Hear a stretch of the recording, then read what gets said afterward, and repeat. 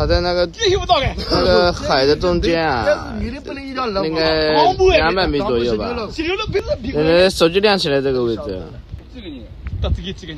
今天凌晨三点半左右，台州玉环沙门镇黄岩嘴附近的海面上，有人发出求救，说被困在海里了。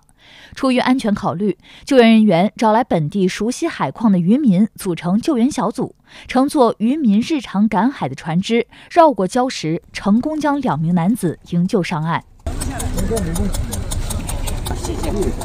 这两个女的。下去赶海，赶海涨潮回不来了。哦，然后你们是待在这个竹筏上面的是吧？对对，我们发现下面有个竹筏，看见涨潮了，就在在那个竹竹筏上面。两个小伙子说，他们是学着网上的赶海视频，相约来沙门海边的，也没有经验。